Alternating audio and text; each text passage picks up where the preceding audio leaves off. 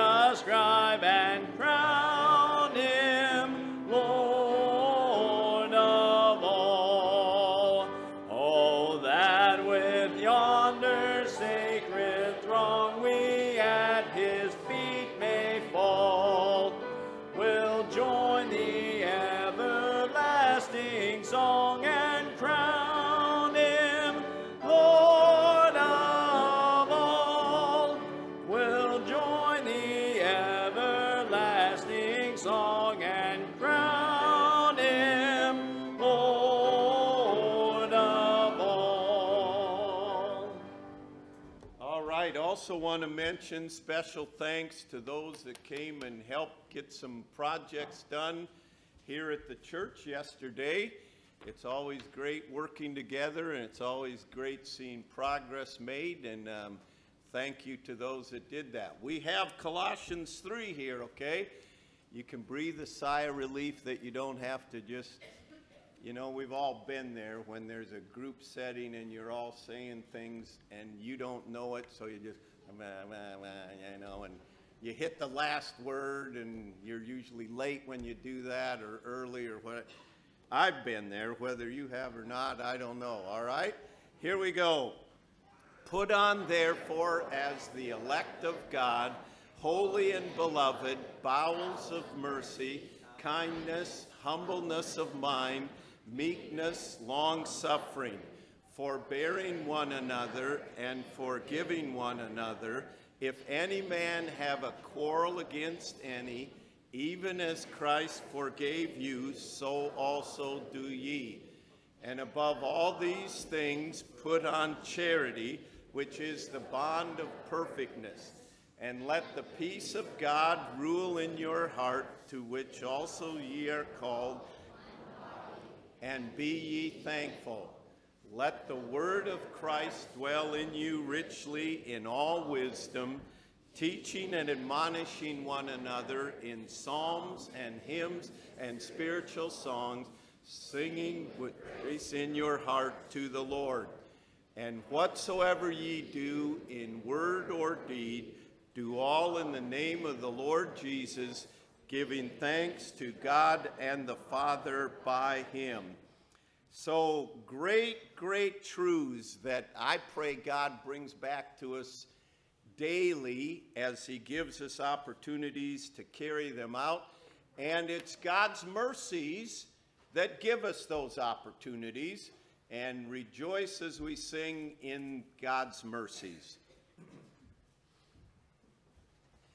I'd like to invite your attention to the overhead for the words to the song Mercies Anew. We'll have the words for you on the overhead to Mercies Anew.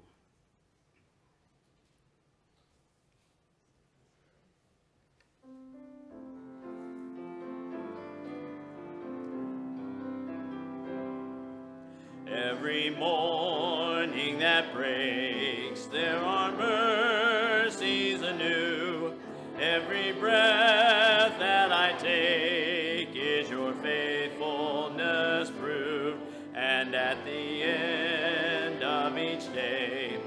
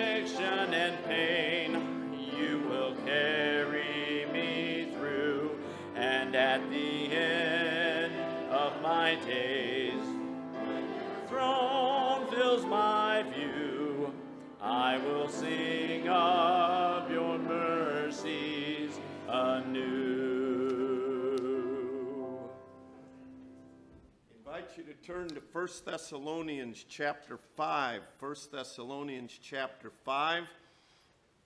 We'd like to read the first 11 verses. 1 Thessalonians chapter 5.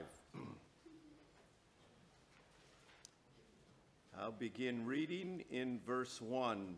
But concerning the times and seasons, brethren, you have no need that I should write to you, for you yourselves know perfectly that the day of the Lord so comes as a thief in the night.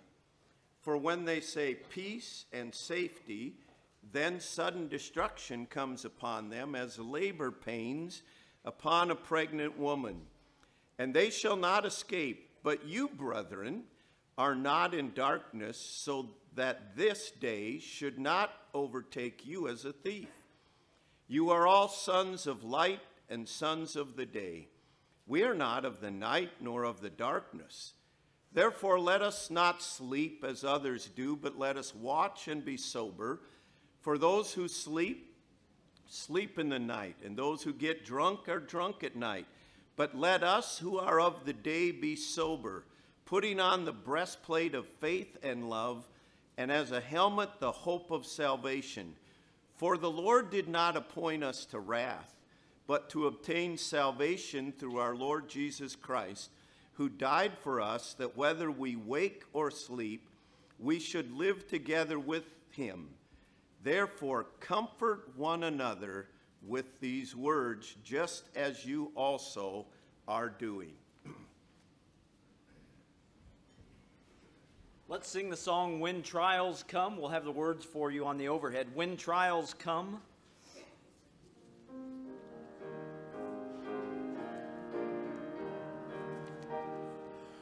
When trials come, no longer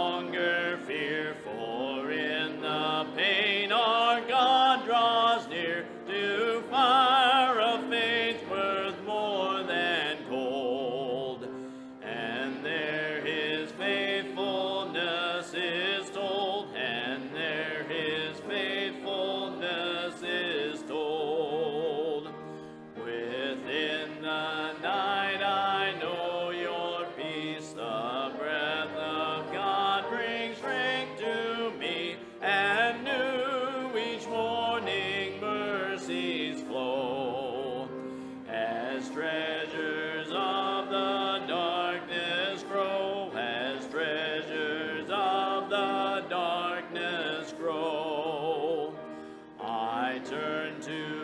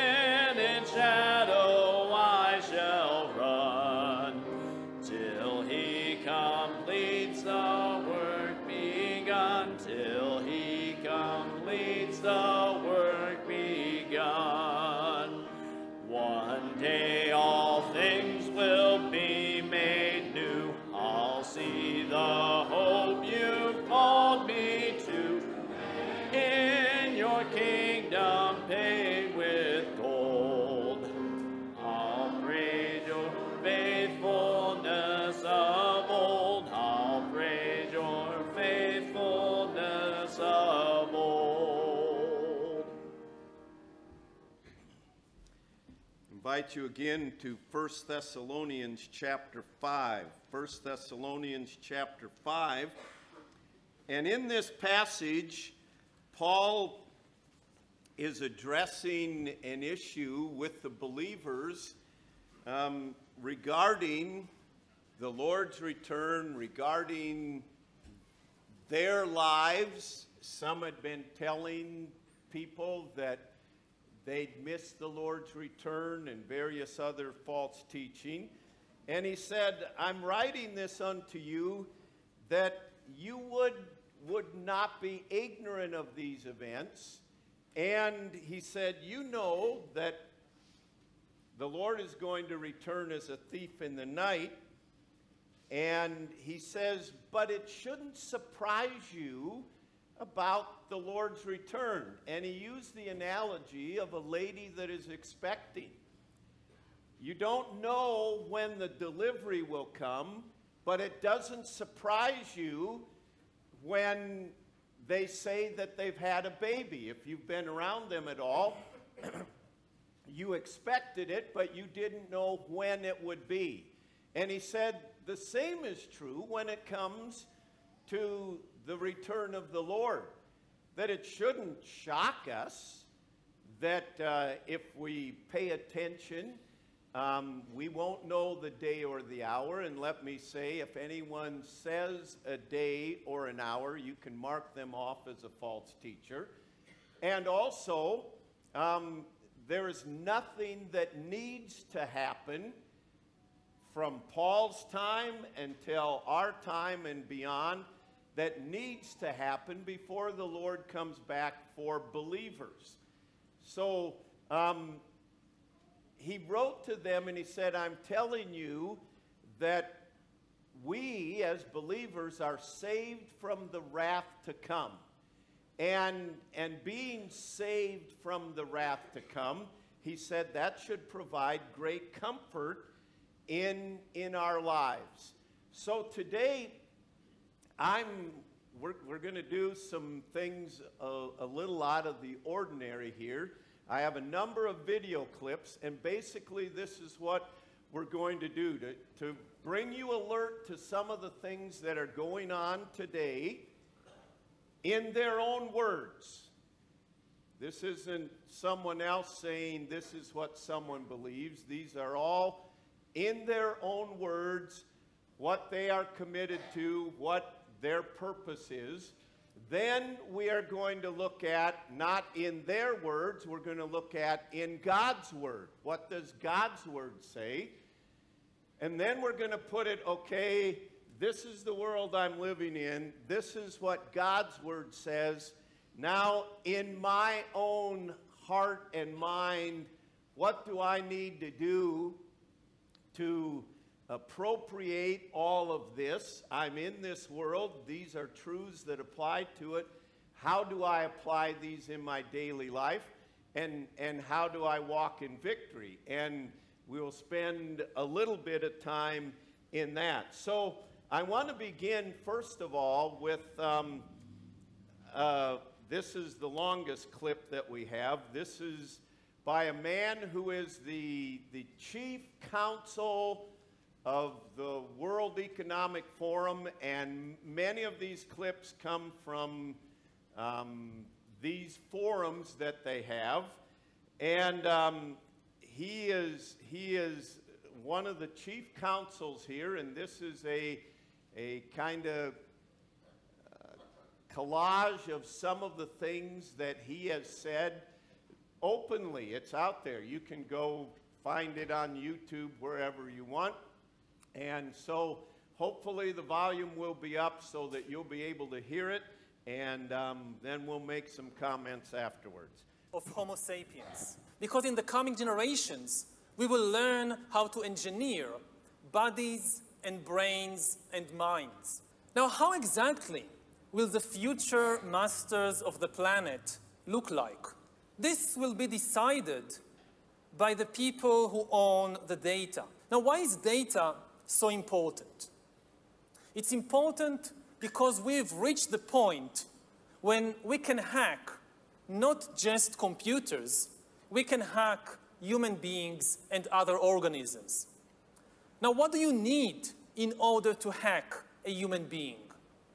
You need two things. You need a lot of computing power, and you need a lot of data, especially biometric data. But control of data might enable human elites to do something even more radical than just build digital dictatorships. By hacking organisms, elites may gain the power to re-engineer the future of life itself. Because once you can hack something, you can usually also engineer it. All of life, for 4 billion years, dinosaurs, amoebas, tomatoes, humans, all of life was subject to the laws of natural selection and to the laws of organic biochemistry. But this is now about to change. Science is replacing evolution by natural selection with evolution by intelligent design. Not the intelligent design of some god above the clouds, but our intelligent design and the intelligent design of our clouds, the IBM cloud, the Microsoft cloud, these are the new driving forces of evolution. And at the same time, science may enable life after being confined to, for four billion years to the limited realm of organic compounds, science may ena enable life to break out into the inorganic realm. Humans are now hackable animals.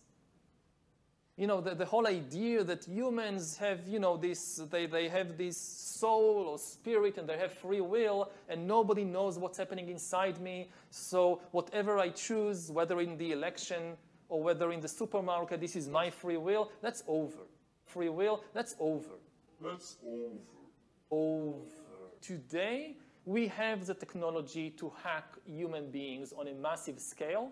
Yeah, I mean, everything is being digitalized, everything is being monitored. In this time of crisis, you have to follow science. It's often said that you should never allow a good crisis to go to waste because a crisis is an opportunity to also do re good reforms that in normal times people will never agree to.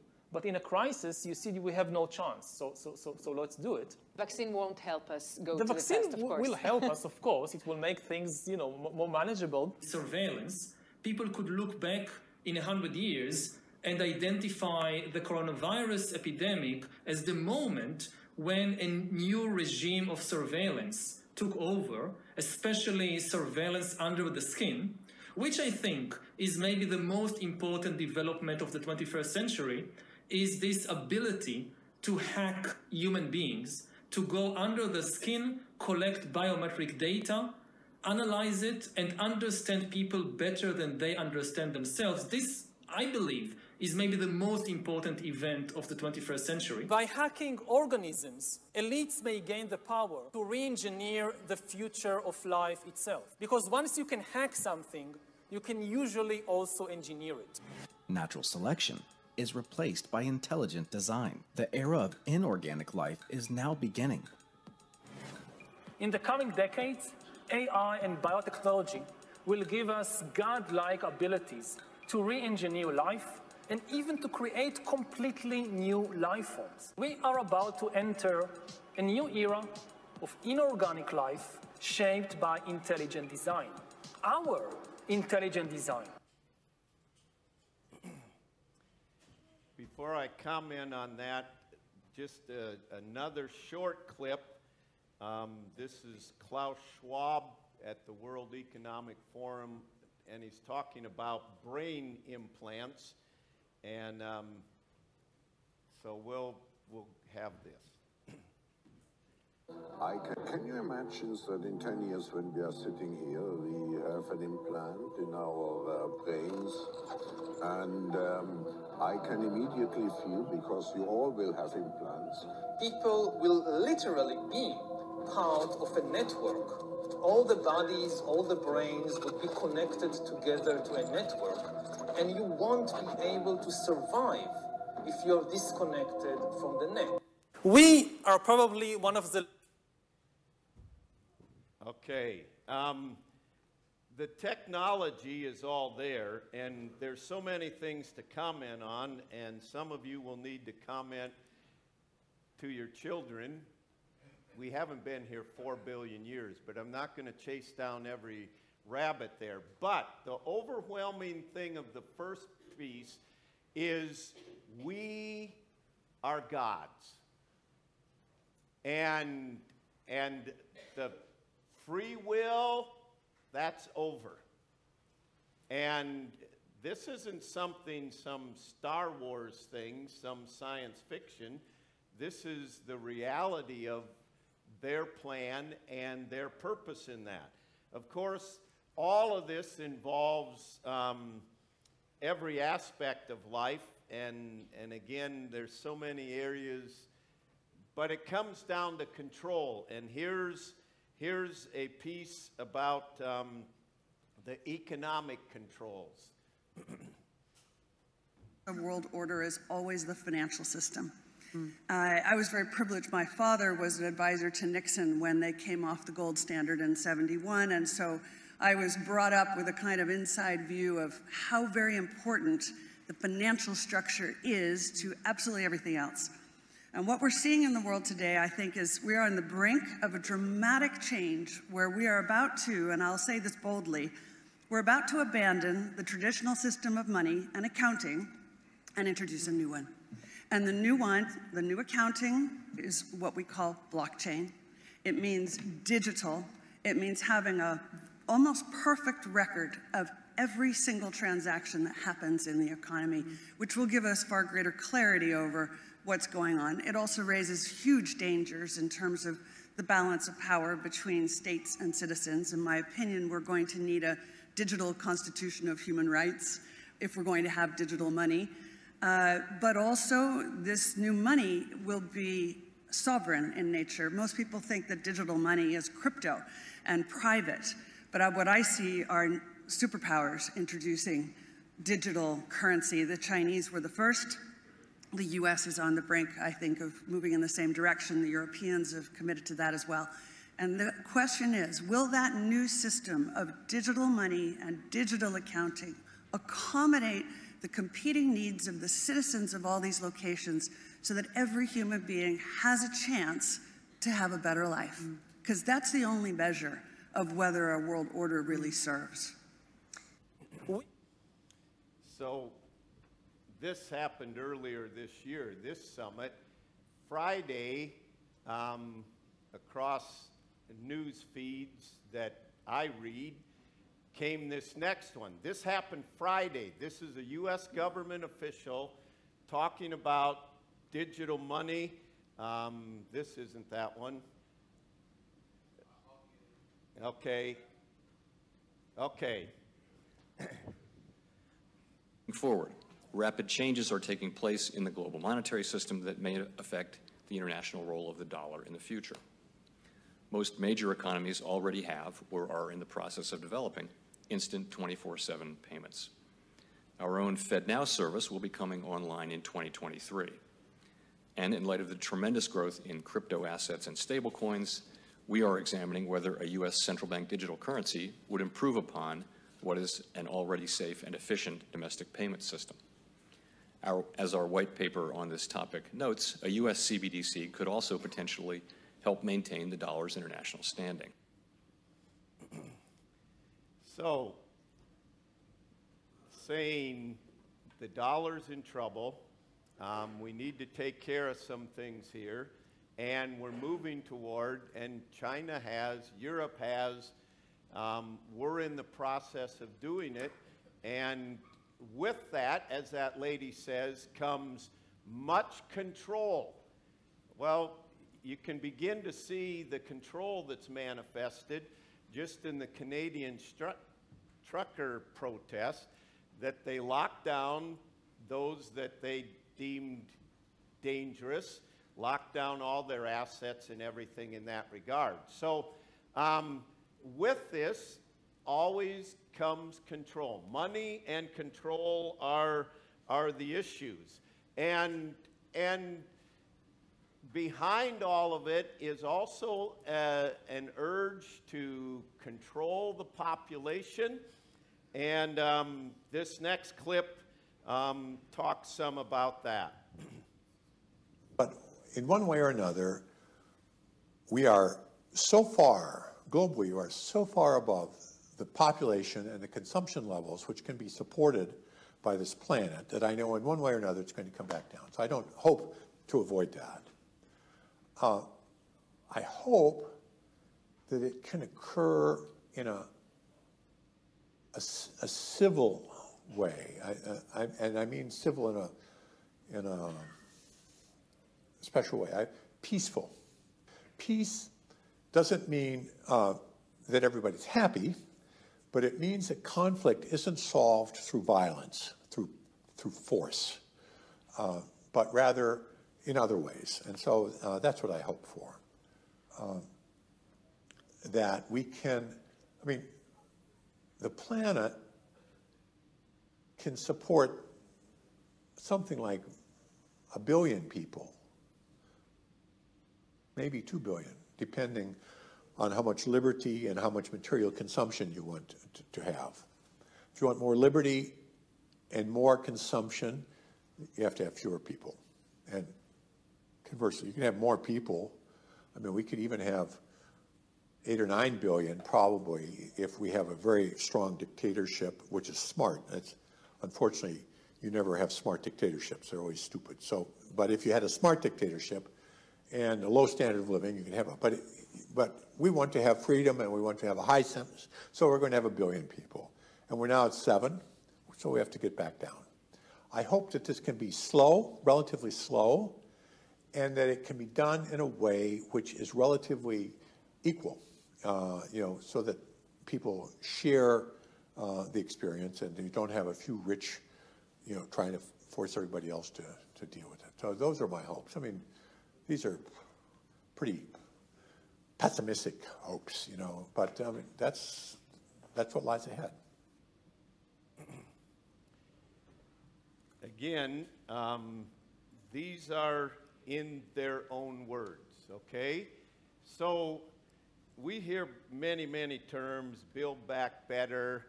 That isn't, a, that isn't this administration's term. That's a term that's used globally. And this is what they have in mind in building back better. We hear talk, warnings of the famines that are coming, of climate change, financial crisis, inflation, and much of it we're already experiencing. so um, I could probably go on all day long about various aspects, but I'm, I'm closing that. That's in their words.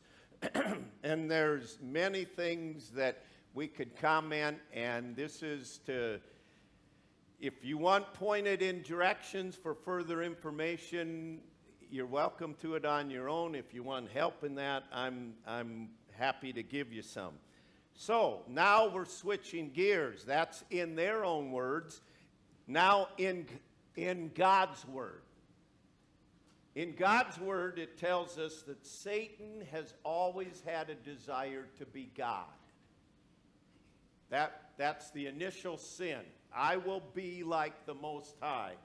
And man has adopted Satan's desire. From the Garden of Eden, you will be like God.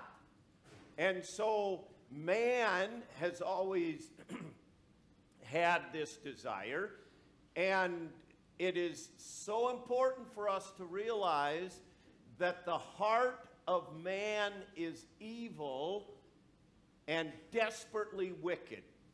And that is the fundamental difference. I mean, we, we played this clip and it just came by quick. We're currently at 7 billion, so we need to get down to 1 billion. I mean, do you realize what that means? But throughout history, it shouldn't surprise us. Regimes have come and gone, and they have killed millions of millions of people, primarily totalitarian and communist regimes, without regard for any life. And the heart of man is evil, and you put that with Satan and man's desire to be God, to act as God, and, and there is no regard for mankind if I can bring myself to power through crushing and destroying millions or billions of people, so is it. But we need to understand, and this is our founding fathers understood, that the heart of man is evil and there needs to be boundaries on it. That's totally different what many people's philosophy is today. Now, God has already brought worldwide judgment on those attempting to be gods. In Genesis chapter 6, God brought a worldwide flood. And it was um, the danger of uh, a species in the world and doing evil continually, and it, it angered God. God has the right to be angry. He made this world, He is the only God. Those that desire to overthrow Him or be like Him will bring the judgment of God. There was another instance in Genesis 11 that they said, We will build a tower to God, and the whole nature of it was rebellion against God. And God said, No, you won't. And He confounded their languages, and that's why we have all the languages on the face of the earth today. And God confounded them, stopped their efforts. So, do you think that God, seeing mankind develop these abilities, to say, we don't need God. We will be gods. We will design. We will control. Do you think God is going to sit idly by? Absolutely not. So when you see the big picture of things and, and you see what is going on, then we start to understand things, and this is where it's important from God's perspective. They're going to put up here a prophecy timeline.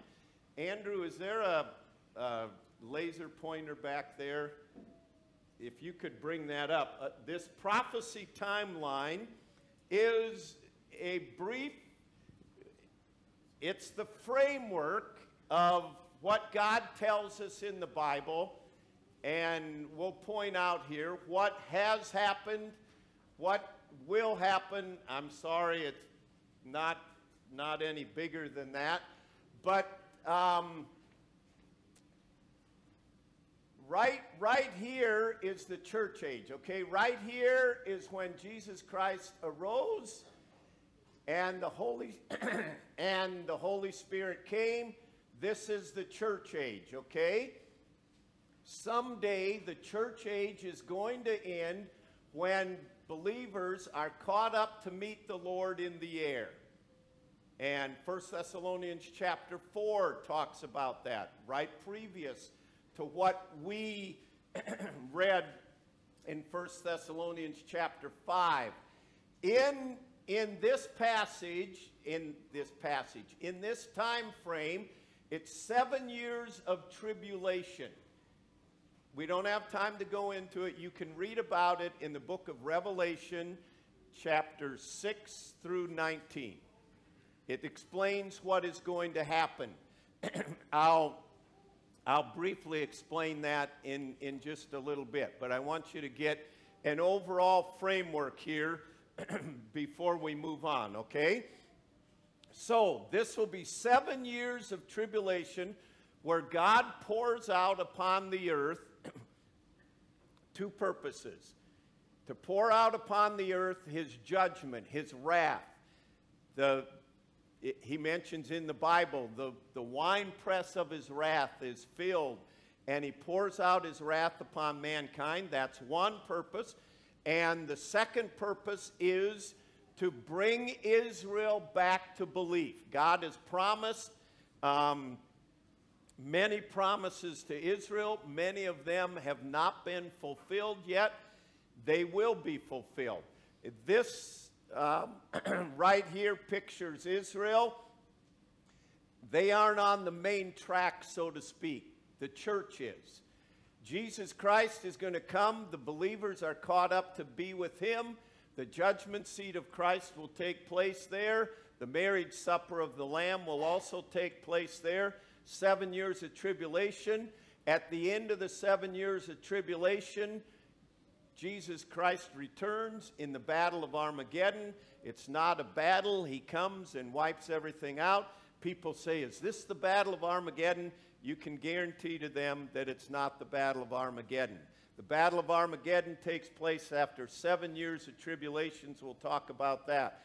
Then God sets up a thousand year reign, 1,000 years of Him reigning on earth restoring the earth to Garden of Eden like conditions, fulfilling the promises. The lion lays down with the lamb, they beat their swords into plowshares, and so on.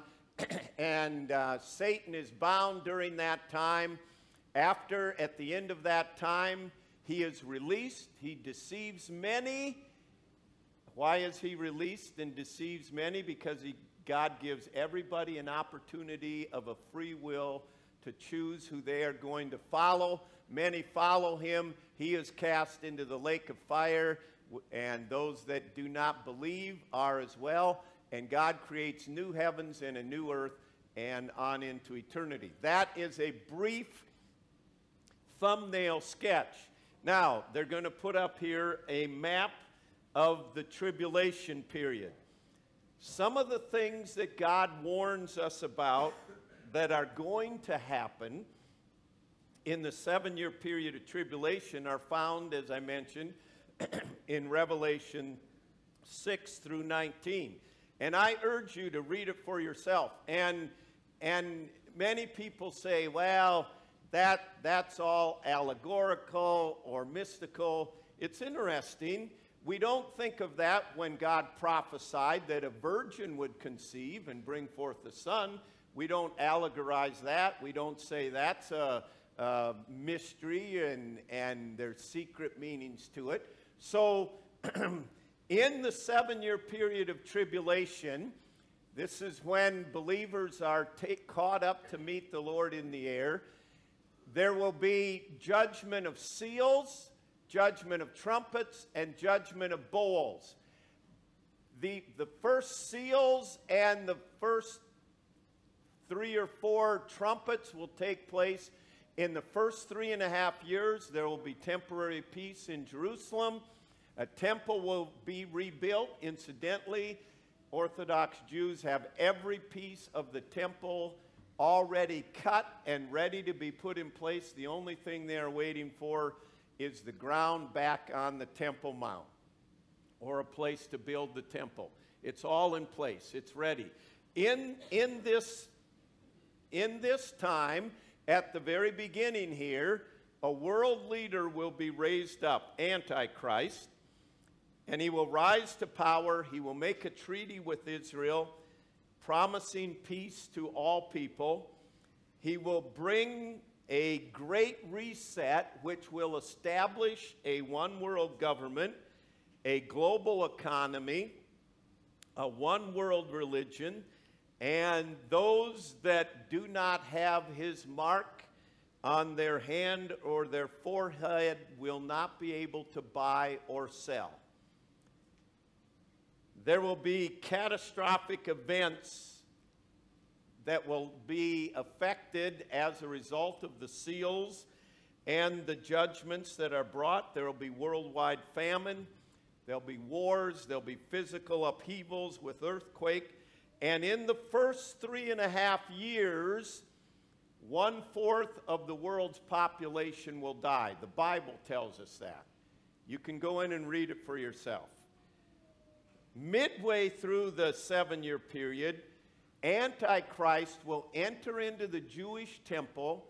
He will desecrate the temple. He had come along as he was at peace with Israel.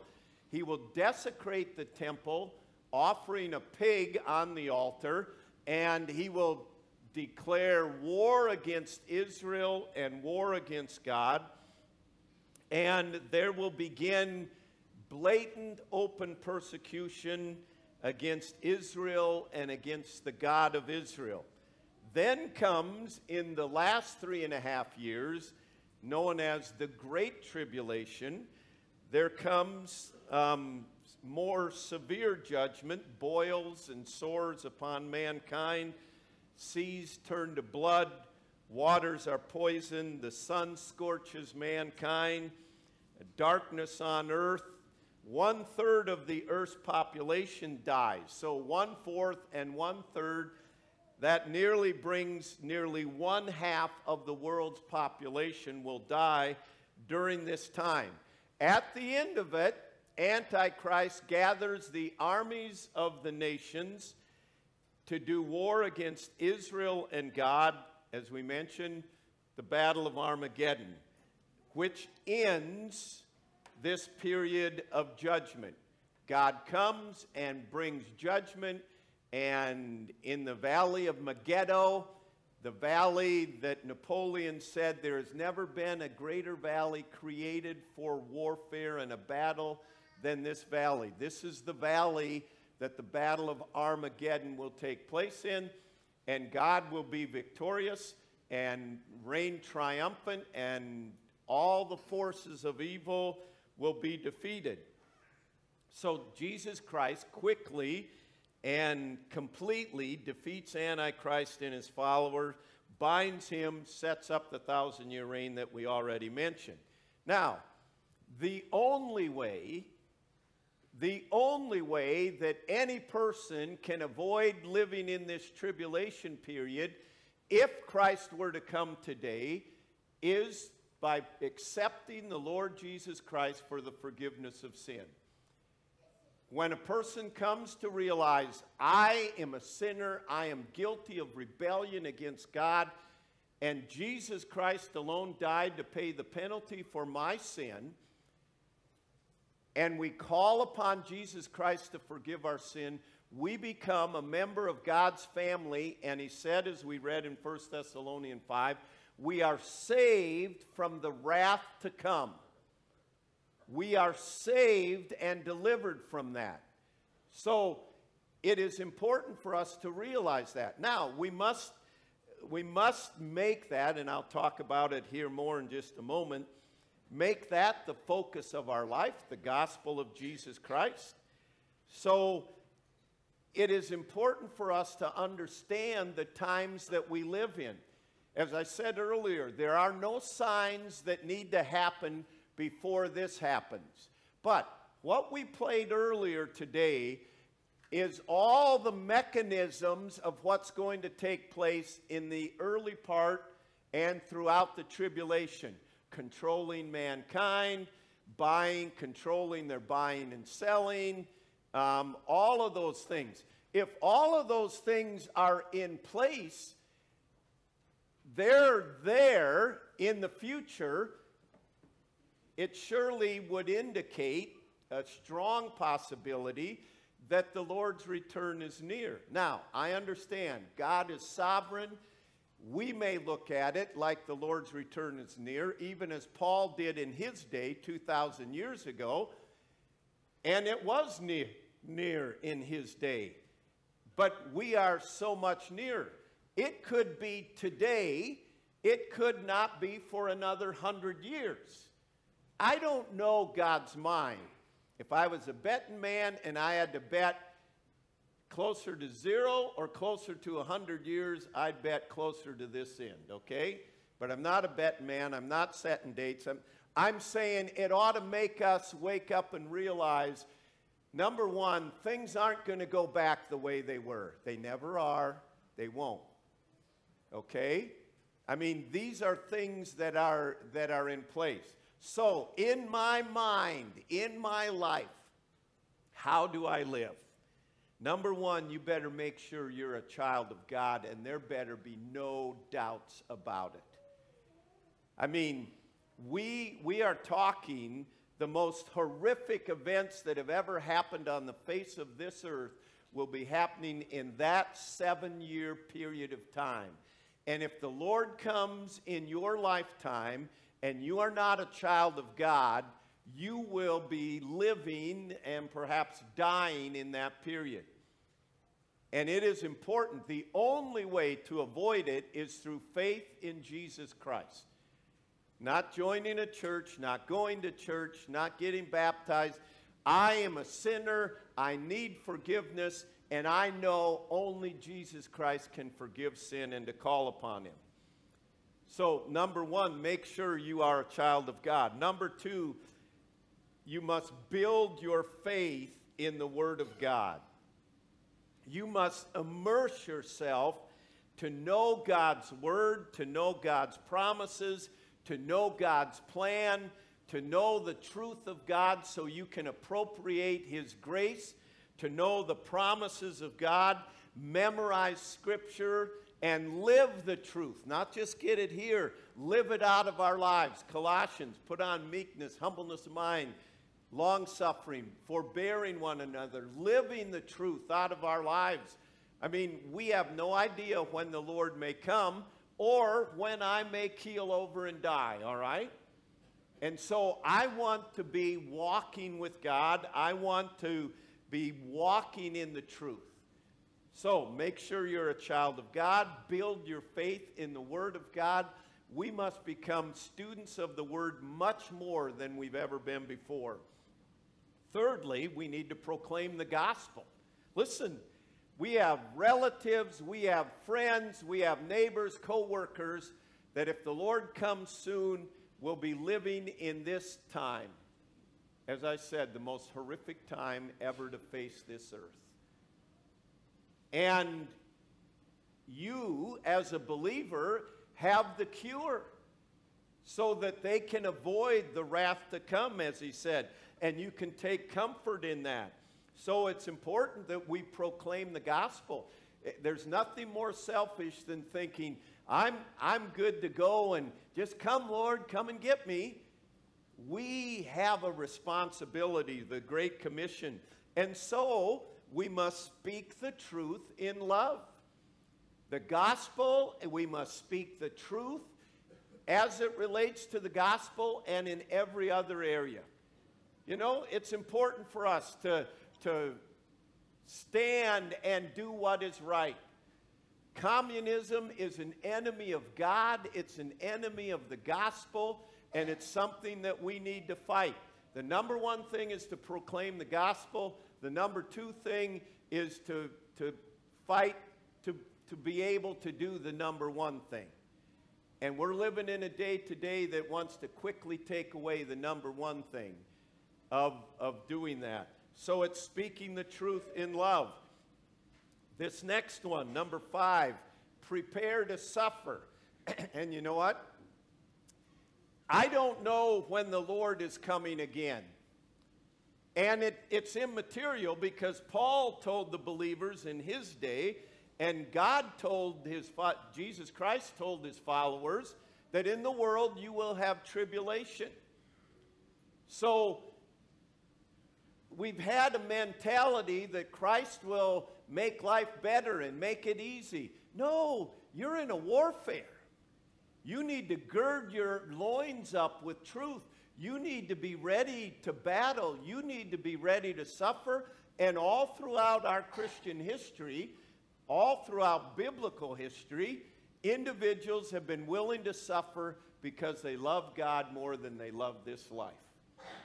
And it is a mentality. It's not, why am I suffering? It's suffering is a very real fact of life. All that live godly in Christ Jesus shall suffer persecution. We have been pretty spoiled here in the U.S., and, and I'm not saying that derogatorily. Thank God for it. But that is probably coming to an end. And that's one of the reasons our, our next series on Sunday morning will be dealing with this whole doctrine of suffering. What does the Bible say about suffering? And our study on Sunday night. Um, it's a struggle. Life is a struggle. So prepare to suffer. And how do you do that? By the other four things I said earlier. Then, how do I put all this together? I honor God by serving others. I build relationships in this life and I try to help other believers, encourage them in the battle. I try to help bring people to Christ and I help them to be prepared so they can avoid the wrath that is to come. And then lastly, I give thanks. As a believer, I give thanks. God promises in 2 Corinthians 12 and verse 10 that His grace is sufficient. He didn't say our, our retirement fund would be sufficient. He didn't say our health would be sufficient. He didn't say our government would be sufficient. He said His grace is sufficient. Hebrews 13, 5, he said, I will never leave you nor forsake you. We give thanks. God, no matter what comes in this life, God is with us. We rejoice in Romans chapter 8. Nothing can separate me from the love of God. Can tribulation or distress or famine or nakedness or peril or sword? No, in all these things we are overwhelmingly conquerors through Jesus Christ. It isn't like, oh, things are going to be bad and they're bringing digital this and all. Those we need to be aware of. But whatever they do, Stephen stoned, and with joy he looked up at the Father because he realized nothing can separate me from the love of Christ. And in 1 Thessalonians chapter 5 and verse 9, rejoice, we are saved from the wrath to come. Therefore, he said, verse 11, comfort each other and build up one another just as you are also doing. So he's saying, give thanks. The best is yet to come. And, and we rejoice in that. And so the, the focus should always be on God. What do you want me to do? These are these are incredible times that we have the privilege to live in. I mean, Israel is the focal point of God's work, and it is important for us to realize that we are seeing happen before our eyes the very things that He said in the Word of God. And so it shouldn't cause us to be downhearted. We should give thanks we should rejoice. And these are truths that we need to personalize and we need to make known to those that we know and love and rejoice together. Let's bow together in prayer. Heavenly Father, I thank you for truth. I thank you that we have copies of your word. I thank you that you are sovereign, that you are in control and that we can trust you for every detail of life. And Lord, I thank you that you have offered to us freedom from the penalty of sin, freedom from the power of sin, and someday freedom from the presence of sin, all through faith in Jesus Christ alone.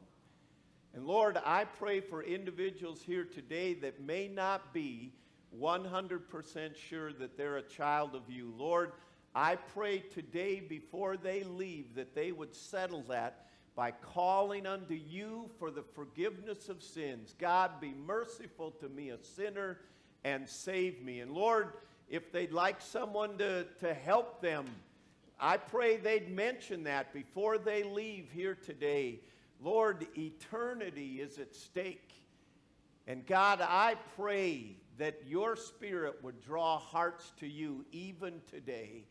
And Lord, I pray for everyone that's a believer. I pray that you would cause us to have a faith that is anchored deep in you and your word. I pray that we would be living out the truths of your word, that our lives would be given to you and serving others, and Lord, that our faith would not fail. I pray that everyone would finish strong the race that you've set before us by looking unto you, the author and finisher of our faith. So, Lord, thank you that you are the author of history. Thank you that we can rejoice in who you are and what you're going to do, and rejoice that nothing can separate us from the love of you. We praise you in Jesus' name. Amen.